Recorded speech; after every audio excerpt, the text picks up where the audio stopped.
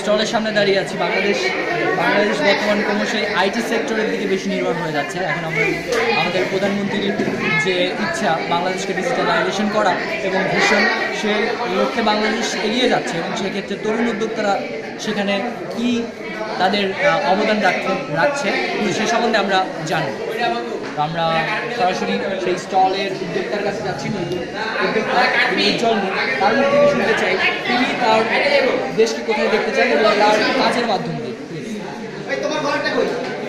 ধন্যবাদ আপনাকে আমাকে দেওয়ার জন্য প্রথমে আমি পরিচয় করে দিতে চাই আমার যে স্টলের যারা আছেন এখানে আপনি আমরা এখানে যেটা নিয়ে এসেছি ফ্রিল্যান্সিং পড়ালেখার পাশাপাশি যে এক্সট্রা আর্ন করাটা যে আপনি নিজের ঘরে বসেই কীভাবে অনলাইন থেকে টাকাটা ইনকাম করতে পারবেন এই অপশনটা আমরা এখানে দিচ্ছি। এছাড়াও আপনাদের নিজের ভিডিও কীভাবে আপনি ডেভেলপ করতে পারবেন এটাও আমরা দিচ্ছি। এছাড়া আমাদের এখানে ফিল্ম ক্লাব আছে ফিল্ম ক্লাবে আপনারা যোগাযোগ করবেন। এছাড়া আপনাকে আপনার ফিল্ম ব্যাপারে যত সাহায্য সহযোগিতা লাগে আমরা ফিল্ম ক্লাব থেকে আপনার আমরা করব। ফিল্ম ক্লাব সম্পর্কে আর একটু বলবেন বলেন।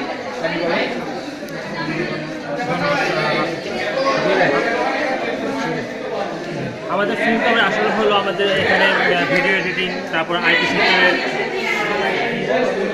আইটি সেক্টরের সকল সকল ধরনের কাজ এখানে করা হয়। যার কারণে এর মধ্যে যেখানে আমাদের ফাইবার ডিপার্টমেন্টে যারা আমাদের স্থানীয় আসছেন মানে কাজ করছেন, যেমন আলিম এবং অন্যান্য স্টুডেন্টদের তাদের আমি ধন্যবাদ জানাচ্ছি আমাদের এই এখানে সাপোর্ট দেওয়ার জন্য। এখানে আমাদের যে কাজটা করা হবে সেখানে সেখানে মিউজিক ভিডিও এডিটিং এবং আরও অন্য ধরনের কাজ করা হয় সেজন্য সেই কাজগুলো সেই কাজগুলো সুন্দরভাবে সম্পন্ন করার জন্য এবং আরও এগিয়ে নেওয়ার জন্য সবাইকে আমন্ত্রণ জানাচ্ছি।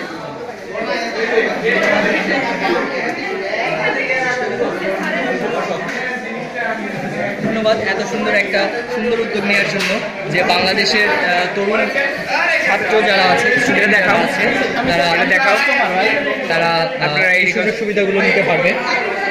এখানে ক্লাব আছে এইচইউ ফিল্ম ক্লাব নামে পরিচিত। Join the club and get your music video now এটা কিন্তু খুব সুন্দর একটা সুযোগ। যে এখনকার তরুণ প্রজন্ম যারা আছে তারা অবশ্যই চায় যে তারা ফেসবুক চালায় ইউটিউব চালায় তারা সবসময় চায় তাদের একটা ভিডিও একটা মিউজিক নিজস্ব ভিডিও থাক। তো সেই বিবেচনা করতে গেলে এই উদ্যোক্তা আহ, উদ্যোগটা অনেক সুন্দর বলে আমার মনে হয়। আচ্ছা